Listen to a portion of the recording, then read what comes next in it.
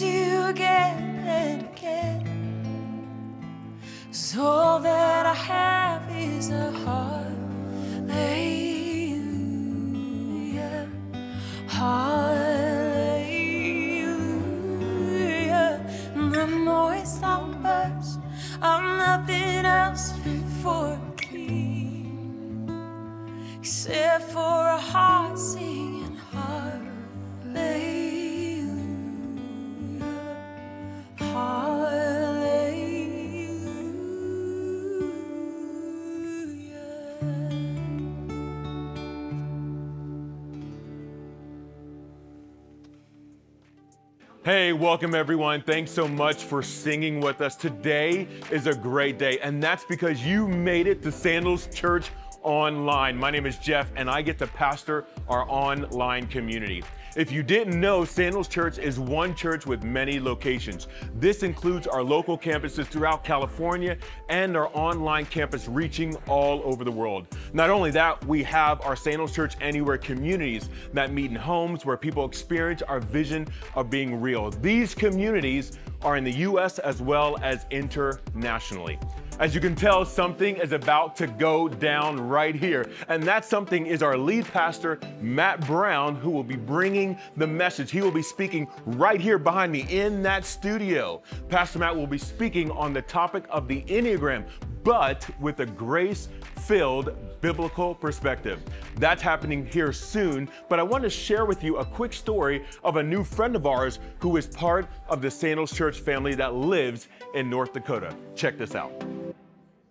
Hey, my name's Logan Bergeron, um, and I'm actually currently in North Dakota playing um, college hockey in Jamestown. I'm teamed up with uh, Sandals Anywhere because I wanted to start um, having people come by and say, hey, why don't you come to get to know this guy? His name's Jesus. I'm, I'm kind of meeting people right now where they're at. That looks like going to coffee with somebody once a week.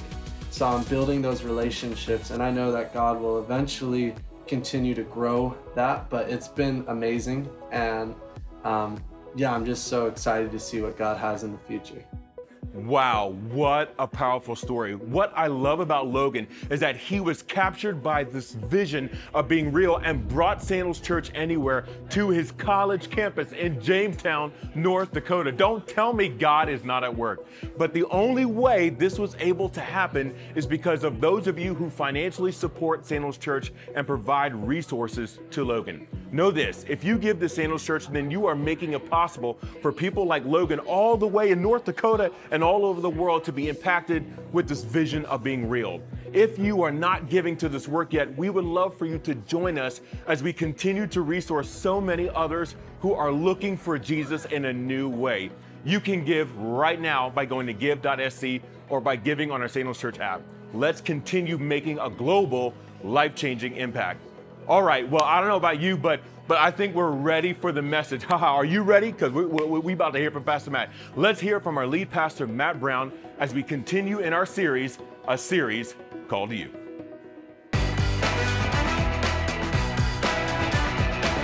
It's very, it stands out. So as an individualist, I think the beauty is that I'm able to connect with people on a deeper level. When it comes to hanging out with me, it's never, oh, let's go to Disneyland. It's always like, hey, let's have a talk. And then, you know, two, three hours pass by and we've had this really deep talk and they're like, man, that was great.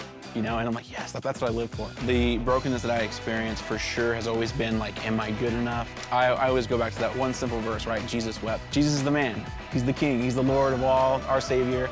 And if he can cry, and he can sit in those emotions and, and, express those, then, then so can I. Who Jesus says we are is who we are. That's the truth. I'm fearfully and wonderfully made as an individualist, and there's only one me, and I'm thankful for that. Hey guys, welcome to a series called You. Man, I hope God is blessing you. I hope God is challenging you. I hope God is working in you. Man, a couple of years ago, I had an opportunity to visit one of our families serving God in Africa. I never thought in my wildest dreams I would go to Africa, but that's the thing about God. You have no idea where God wants to take you once you start following Him. And so these missionaries that were serving in Africa, they said, Hey, do you want to go on a safari? And I was like, Well, no, not really. You know, I've been to the zoo. Amen? I mean, who's been to the zoo, right? I've been to the California Zoo. Let me tell you something. I don't know what's wrong with our zoo animals in California, but they do not look anything like the wild ones in Africa. I mean, our lions are like pathetic. They're like, yeah, I think I'll, they're like vegetarian or something. I don't know what the deal is. But we went on this safari, and one of the first animals that just blew my mind, and I kid you not, I was blown away, was by the zebra. I never thought I would care about the zebra. I never thought I would look at the zebra. But the first thing that drew my attention to the zebra was its butt. Okay? I, now, now, I love a good steak. I love a good steak, but I've never looked at a cow and went, mmm. Mmm. But I looked at that zebra's booty and I was like, I was like, now I understand the lions. Now I understand. I you see that running across Africa, you're like, mm, I'm gonna go get a bite of that. But I mean, it's like it's like a rump roast made by Jesus, man. It was just it's incredible. And and so then I thought, you know, have you ever found yourself being critical of God? Come on, ones. Amen. Amen. And I was like, Lord, why would you make such a tasty looking treat with such terrible camouflage? I mean, the poor zebra, right? It can hide nowhere. It's like, I see you. I still see you. I still, he's dressed like a ref, okay? you know what I'm saying? It's just like, I see you. And it, it really bothered me because the poor thing, I mean, it looks very tasty when you see it. Uh, very, very just muscular and just, just, just, just. I mean, it looks, it looks good. I've never wanted a horse before, but that zebra looked good. And I was like, Lord, why on earth? Why on earth would you design the zebra this way? And here's what I found out a zebra is not camouflaged against its background. That's not its weapon of camouflage. A zebra is camouflaged in the herd. And so when zebras are in a herd, they're, they're together, they actually create this camouflage where the lion cannot pick out which one it wants to eat. So listen to me very carefully. The lion has to identify which animal it's chasing. Otherwise, when you run, you're, you're just going everywhere and you catch nothing. They've actually done studies on zebras. Now, I don't know who these evil people are, probably professors at universities. But what they did is they, they spray painted a red X on the back of a zebra, and that one gets killed in one day every time. As soon as it is identified as being different from the herd, it dies. Now, let me tell you why I want to preach a series on the Enneagram. I don't care about the Enneagram. I don't care at all. I mean, I had somebody this week direct message me, Pastor, do you know that the Enneagram may be witchcraft? I'm like, oh my gosh, you know what? I, I, read a, I wrote a book about it and I didn't, I didn't discover that. I'm like, all these experts, right? Thank you so much for your wisdom. Listen to me. I, I don't want to defend the Enneagram. I don't care about the Enneagram. Listen to me. I care about you. And if you are listening to, to me today and you know somebody who's a four, you love a four, you're raising a four, you're friends with a four, you better care about the Enneagram because listen to me, they got a red X on their back. And the lions are coming from them. You see, the rest of us, we fit in with the herd. We fit in with the herd and we can act like the herd and we can blend in with the herd and we can just literally be safe in the herd. The fours have an X and the lions are coming. And here's what religion does religion says difference is always demonic. And so when your little kid doesn't fit in with the way the church thinks that they should be, they get killed, just like Jesus. He didn't fit in with all the other religious kids. He was very, very different. And so I just want you to know, Fours, I'm sorry the church is the way it is. I'm sorry we haven't made room for you. I'm sorry we haven't seen your uniqueness, but I want you to know that God does. And God loves you and God cares for you. And the rest of us, man, we need to repent today and say, God, we need to stop making them like us. And the herd needs to come around and protect them because they're beautiful and they're amazing and they're incredible and they will make our lives better. And so today we're going to look at my favorite four in the Bible. He's one of the most overlooked individuals in the Bible, but one of the most incredible individuals in the Bible. His name is King Saul. Listen to me, fours. You may be overlooked by others for leadership, but when God chose his first king, he picked a four. He picked a four. And the last person that would have thought he would be picked, it's always the four. They're like, no, yeah, as soon as you start voting, they're like, nope. And that's exactly what Saul does. So later, Samuel called all the people of Israel to meet before the Lord at Mizpah. Now, I can't get into why all of this matters. It's in the book, and you know, I'm just there's just some things I can cover in the book that I can't cover here, but this is an important place, and this is an important time in Israel's history. God never does things by accident. He's always on purpose to bring about his purpose. And so Lord, the Lord is at Mizpah, and he said, This is what the Lord, the God of Israel, has declared. Listen to me, for us. He's declared this. He says, I brought you from Egypt and I rescued you from the Egyptians and from all the nations that were oppressing you. But though I have rescued you from your misery and distress, you have rejected your God today, and you have said, No, we want a king instead. Now, therefore, present yourselves before the Lord by tribes and clans. And so Samuel, the high priest of Israel, brought all the tribes of Israel before the Lord. And the tribe of Benjamin was chosen by Lot. The tribe of Benjamin is the smallest tribe. They were almost exterminated years earlier by the other 11 tribes, almost wiped off the face of the earth. And then they brought each family of the tribe of Benjamin before the Lord. So we got the smallest tribe, and then we're going to get the smallest family. And God's going to find his four. And the family of the Matrites was chosen. And finally, Saul, son of Kish, was chosen from among them. Listen to me, fours. But when they looked for him, he's a four. He's gone. He's gone. I don't want to be in charge. I don't want the attention. I don't want anyone looking at me. And so they had to ask God, God, you picked our king, but he left. And by the way, those are the politicians we need to elect. Not the ones that run, but the ones that run from it. We need to all be afraid if somebody's like, you know what, I humbly suggest that you all should follow me. We need to start electing the people like, I ain't running. Nope, nope, nope, nope, nope. Don't want it, can't wait to get out of here, never want to run again. Amen. That's who we want in charge. And that's who God picked. Isn't that amazing? God picked the one guy who didn't want the job. Can you imagine all the other guys? Who do you think is going to get it today? I did come in first at the track meet this Thursday. You know what I'm saying? Can, can you imagine all the guys? I mean, they had in their mind, you know, I, I think I know who's going to get it. I think I know who's going to get it. Nobody picked Saul. Where is he? And the Lord replied, He is hiding amongst the baggage. Oh, fours, I love you. You feel so at home in baggage, don't you?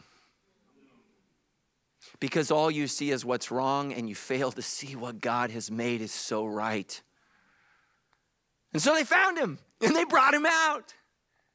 And he stood head and shoulders above everyone else. Now, I love our Jewish brothers and sisters. Not a lot of NBA players are Jewish. Okay, they do great in synchronized swimming. Powerhouse. Nation of Israel, powerhouse in synchronized swimming. Basketball, they're giving it their best shot. So when you got a tall Jewish guy, right? Whoa, hey, hey, look at this guy. This guy can lead us. How is it that we never saw you? Isn't that amazing? Fours, the world never sees you, but God always does. And then Samuel said to all the people, This is the man the Lord has chosen as your king, and no one in Israel is like him. And listen to me, fours, no one is like you.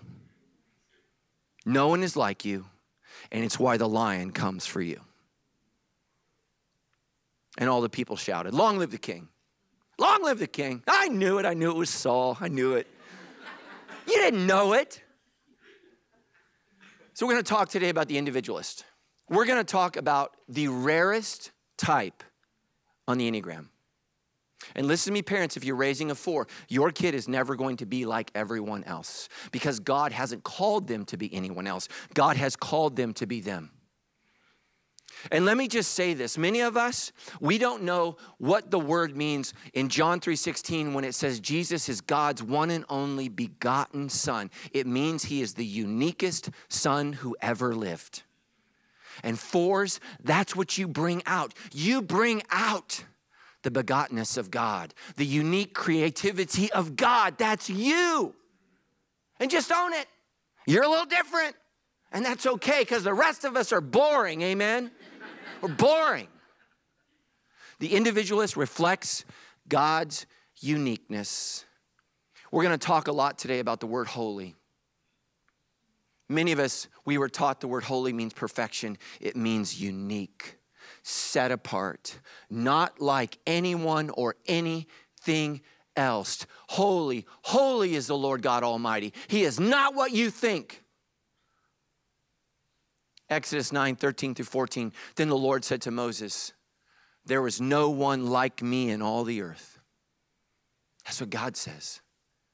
That's why so many religions are wrong. They look to understand God based upon the things around them. And so they think God is big like a mountain, or powerful like the waves, or tall like the trees. And God says, I am holy, holy, holy. He is separate and outside of what we can see. And fours reflect that.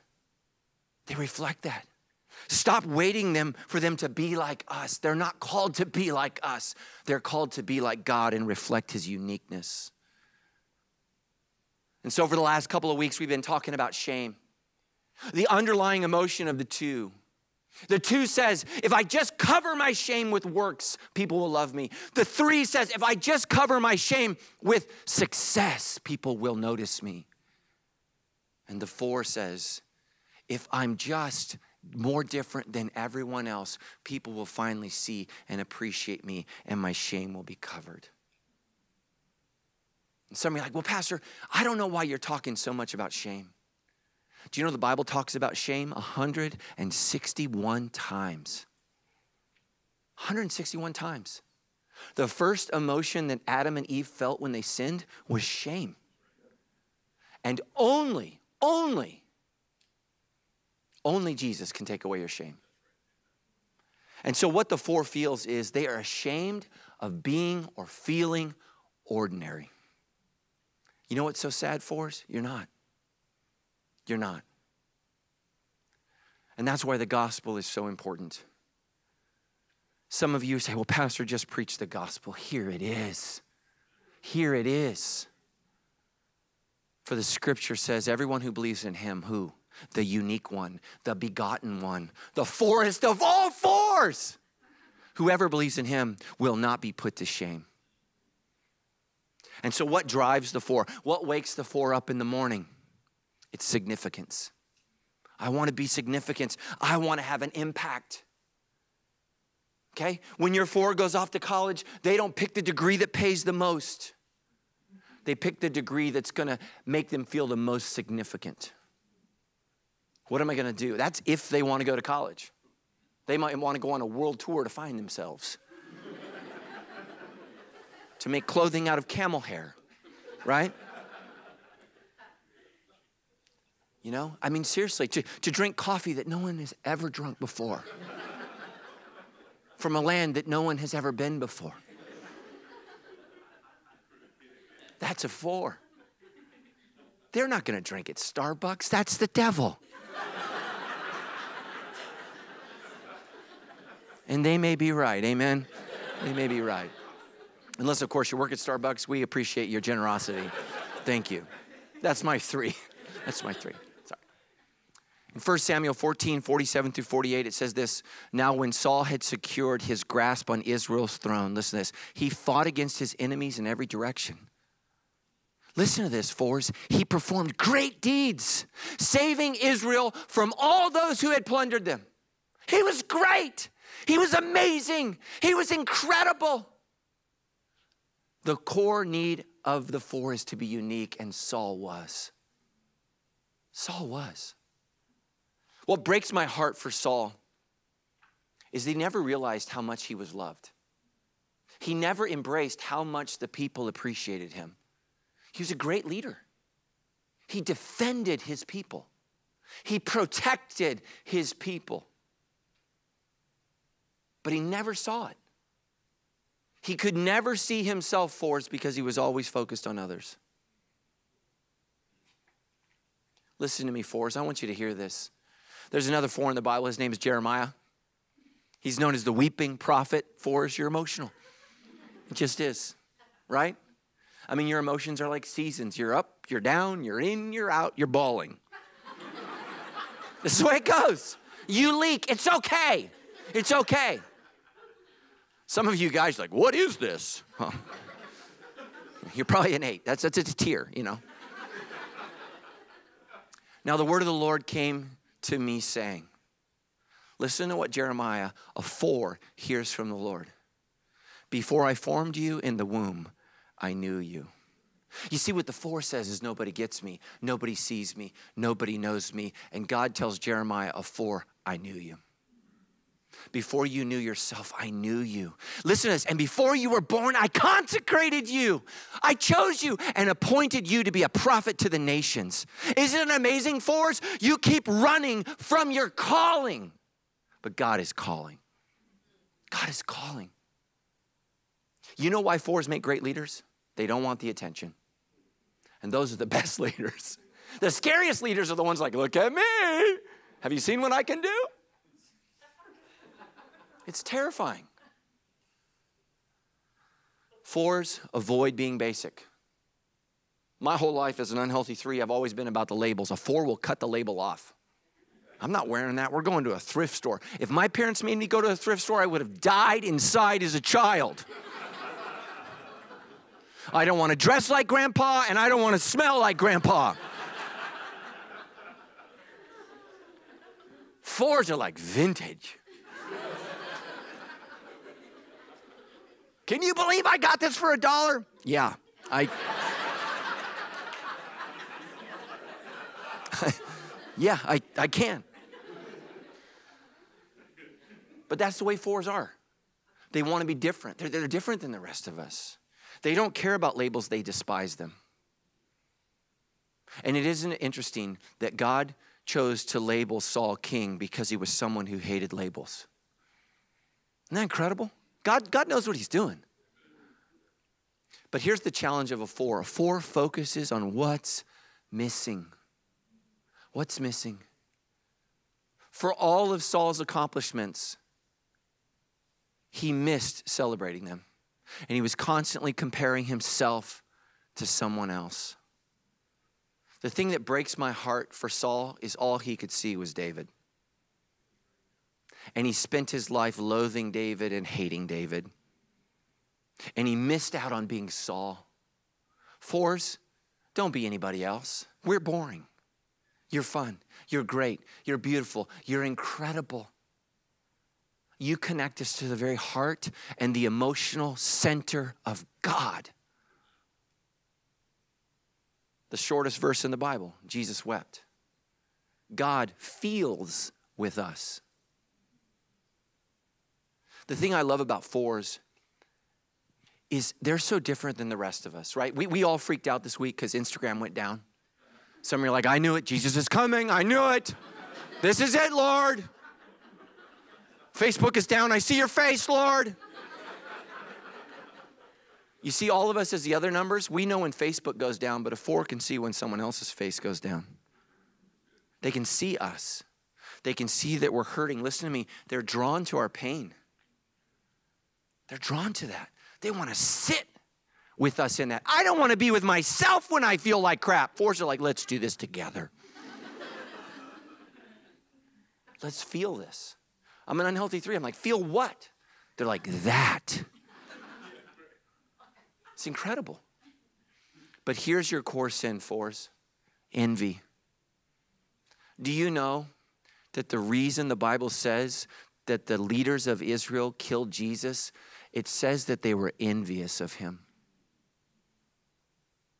Don't let that get the best of you. The reason Saul hated David was because he was envious. He was envious. Envy will rob you of the joy of being yourself. Here's the fear of the four being unnoticed. Being unnoticed. Listen, listen to Saul's authenticity. This was their song Saul has killed thousands, but David his ten thousands. And this made Saul very angry. Where does the four go in unhealth? To the one. What is the core sin of the one? Anger. Saul has killed his thousands. David has killed his ten thousands. Oh my gosh, that unique person got a thousand likes. I only got a hundred likes. They got to die right now, Lord Jesus.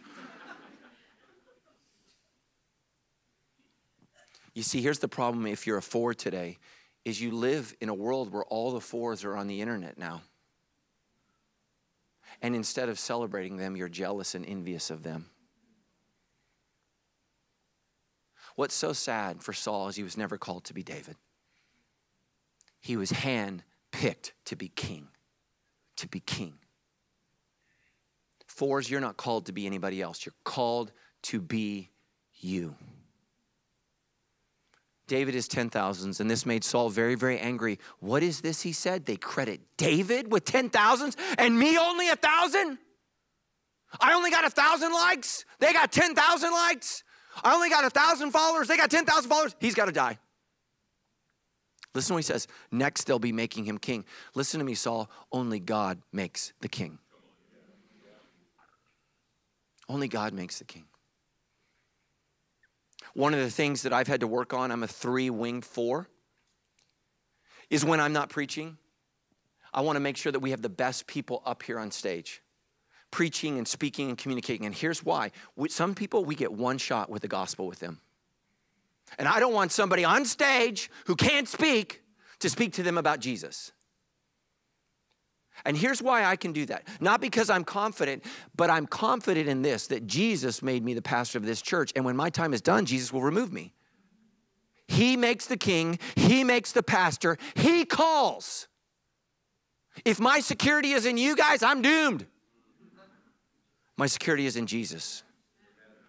And that's what you have to do for us. I don't have to be anyone else but who Jesus is calling me to be.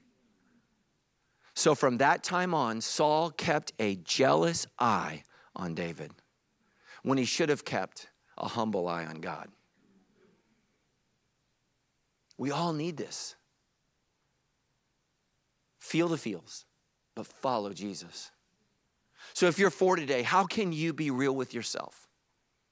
Psalms 119. Thank you for making me so wonderfully complex. Your workmanship is marvelous. How well I know it. Don't focus on your flaws. Focus on what God has done. How wonderful is your workmanship. God's made you, God's called you, God's designed you to be you. Listen to me, fours on Judgment Day. Jesus is going to say, All I ever asked you to be was you, not them. You. And here's what Jesus is going to say and I loved what I made. Here's the transformation to embrace it's gratitude. Fours focus on what's missing, what they didn't get right, what didn't happen, what's not going on right. Here's what the author of Hebrews says Therefore, let us be grateful. Right? Let us be grateful. Let's work for an attitude of gratitude. Let us be grateful for receiving a kingdom that cannot be shaken. And thus, let us offer to God an acceptable worship with reverence and awe. Some of you came to church today and you're grateful for nothing. You're mad at God well, you're going to miss out on worship and you're probably going to miss out on this message. You say, What has the Lord done for me today? You woke up. One of my favorite Johnny Cash lines is, What do you consider paradise? You know what his answer was? Waking up this morning. Truly a prophet, a gifted four. Incredible guy. But listen to me, fours. Johnny Cash's last song was called My Pile of Dirt. As I was in the Johnny Cash Museum in Nashville, Tennessee, I just wept as he lamented over his wasted life. He built a pile of dirt. Oh, and it was an expensive pile of dirt. But he blew it. And he really came back to the end of his life, to his calling, to his God to his Jesus. And what he lamented at the end of his life was that he didn't serve Jesus his entire life. That's what he missed. As a rock star who lived a rock star life is saying, I missed my calling. My calling to follow you, God, instead of building my pile of dirt. How can an individualist be real with others? Learn to see the beauty and talent in others as a good thing. That's a good thing. 1 Samuel 14, 52 says this the conflict with the Philistines was fierce and all of Saul's days. So, whenever Saul noticed a strong or brave man, he enlisted him. He wasn't intimidated by him. He didn't kill him. He didn't run him off. He enlisted him. So if somebody is more talented, if somebody is more beautiful, if someone is more gifted, praise God. We worship a God who gives beauty to many people and talent to many people. We worship a generous God. And don't let Satan rob you of the joy of appreciating that beauty because Satan will say, he should have given it to you. But we worship a generous God who gives it to everyone. And he blesses everyone. It's okay when you become healthy to notice beauty, to notice talent, to notice uniqueness. Instead of walking in the mall, hate her, hate her, hate her, hate her. notice beauty. Notice that. It's okay. Celebrate it. And that's what happens in churches. Man, if somebody can sing better, celebrate it. Celebrate it. I praise God there are people in this church that can sing better than me. Can you imagine? Worship would be rough. It would be rough. I mean, the Holy Spirit would look at Jesus. I can't even, I can't even work with that. I don't. Like, we love him. You know, Matt's our guy. He's on our team, but that's terrible. It's terrible. Psalms 8, 4 through 5. Listen to this. What is man that thou art mindful of him? For thou hast made him just a little lower than the angels, and has crowned him with glory and honor. That's the King James Version. There's some people out there who don't think I know that translation exists. I do. You're welcome. But let me tell you why I'm quoting the King James Version. Because it's a version translated on manuscripts that aren't as old as the ones that we currently have. And so when King James authorized that translation to be written, they came to those words. He created them little lower than the angels. But you know, we've uncovered the Hebrew manuscripts, and the word isn't angel.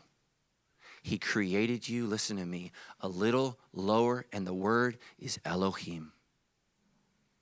Listen to me, Fours. You're not a little lower than an angel. You're a lot above an angel. You're a little lower than God. You have no idea. You have no idea how incredibly amazing you are. And, and, and literally, when people translate that word Elohim, pick any translation you want. They don't know what to do with it because we all feel like we have to be, we're so humble, we have to deny what the Word of God says. That's how demented we are. The Word of God says that I created you just a little lower than me. And so some of your translations will say heavenly beings, some will say angels. They don't know what to do. The word is Elohim. That's why the Apostle Paul says, Don't you know, brothers and sisters, that one day you will judge angels? You have no idea who you are. Stop worrying about what everyone else is and say, God, would you just show me who you've called me to be? Would you just show me? Show me what you've called me to be. And so many human beings today, you are living in the image of animals rather than the one who made animals. God created you not to be a beast, but to be a blessing to this earth. So start living like it. Next, how can the individuals be real with God? 1 Samuel 13, 8 through 9. Saul waited there seven days for Samuel. As Samuel had instructed him earlier, but Samuel still didn't come, Saul realized that his troops were rapidly slipping away, and so he demanded, he said, Bring me the burnt offering and the peace offerings. And so Saul sacrificed a burnt offering himself. In the Old Testament, there are three, there are three offices. There's prophet, there's priest, and there's king. Here's what you need to know about Saul. He held two of those offices. He was a king and he prophesied, but he was not a priest. There is only one person in the scripture who holds all three offices, and his name is Jesus. He is our high prophet, He is our high priest, and He is the King of kings and the Lord of lords. But here's what happened to Saul. He couldn't wait for Samuel. He started to freak out. He started to worry. He started to think these people who are called by God to follow me, who's called me to be their king, aren't going to follow me. And he listened to his emotions and he forgot his faith. And so he hurriedly sacrificed to God as an high priest. And it was in that moment that God said, I got to get another king.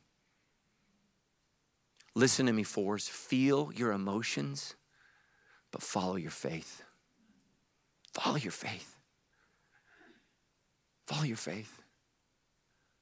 Too many of us who identify with the four style, we doubt our beliefs and we believe our doubts. Believe your beliefs and doubt your doubts. So if you've got somebody in your life that's a four, man, God has given you a special gift. You have a holy and anointed commission to care for them and guide them and protect them from the lions. Because they will come. They will come. And they will say, conform. They will say, get in line. And you need to say, God hasn't called them to get in line, He's called them to create their own line. So, how to love an individualist? Number one, don't ever put them in a box. They hate a box okay? Like they feel like you put them in a box when you ask them to design a box. They're like, oh my gosh, this is affecting my creativity. right? Don't put them in a box. You constantly have to make room for them. They have to be able to express. You know, you want to kill a four, put them in a cubicle. They're like, oh, I would rather die. Next, enjoy and appreciate how deeply they feel. A four is like a roller coaster made by Jesus. You're like, oh, we're gonna die. Oh, that was so fun. Oh, we're gonna die. Oh, that was so fun. Yes. It's incredible. It's incredible. Some of you guys in worship, you're like looking at people, they're sobbing, their hands are lifted, they're crying, they're on the ground, they're rolling. That's a four. like, what? Some of you are like, I don't, I don't get it. You know what? You're probably a five. We'll get to you next week. It's okay. But some of you guys, you know, you're saying why, why don't why don't they why are they acting that way? That's how God made them. They feel their feels. They were born to understand and identify with the very heart and emotional center of God. Next, point out how their uniqueness has blessed you. One of the reasons I wanted to create a church that was real with ourselves, God, and others is so that we could leave room for people who, who listen and feel the beat of a different drum. So many churches today reject fours because of their creativity, because of their emotion, because of their desire. Listen to these words to actually live out scripture and write a new song. I mean, I'm all for the old songs, but has God done nothing in 200 years that would cause us to sing a new song?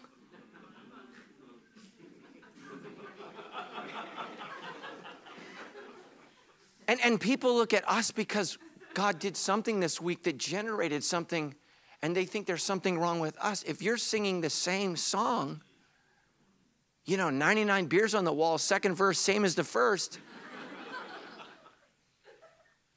maybe we need a fresh movement of God.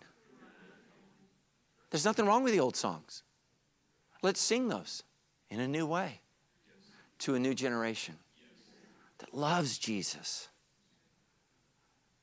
Next challenge for us challenge him to feel, but not to be led by feelings.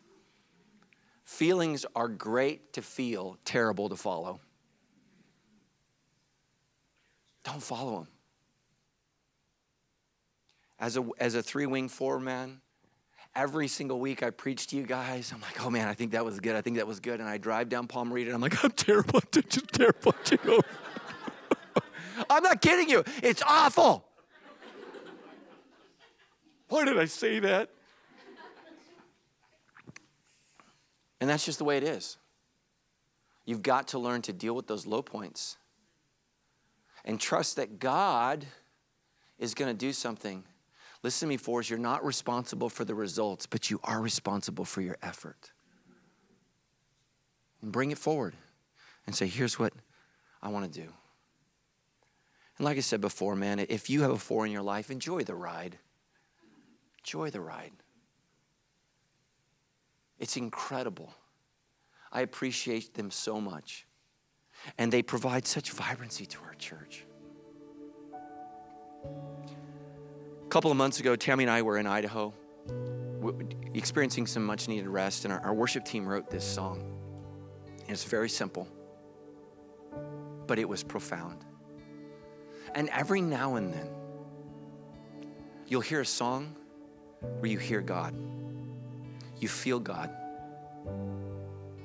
And I didn't even get to be in worship during this song. I, I watched it and witnessed it on Instagram. Isn't that amazing? God can use Instagram. Maybe He can use the Enneagram. Maybe. Pray about it. But here was the song Holy are you, Lord God Almighty. Holy are you, Lord. I instantly emailed one of our worship leaders and I said, Can I please have that song? And I played it on repeat in my car and I wept. I wept at the simple words Holy are you, Lord God Almighty. I felt like I was singing with the angels. I felt the Spirit of God. A song written and sung by a four took me to the throne of God's heart. And I wept. While my wife was in Target, because that's hell. I'm not going in. And I just sat in my car on repeat the words over and over and over again Holy are you, Lord. Holy are you, Lord. Holy are you, Lord God Almighty. And I just wept. And I went home and I got on my computer because I wanted to read it in Hebrew. I wanted to hear what it sounded like in Hebrew, and I wanted to look for those exact words Holy are you, Lord, God Almighty. And so I researched the Hebrew from Genesis to the last minor prophet. And what I found, I will never forget. Listen to me, Fours. I couldn't find the words exactly. Holy are you, Lord. But here's what I did find I found these words Atem Kodesh Yahweh. And what that means is, holy are you to the Lord. We sing to the Lord Holy are you, Lord God Almighty. And the Holy Spirit in heaven sings to us Holy are you to me. Holy are you to me. Atem Kodesh Le Yahweh.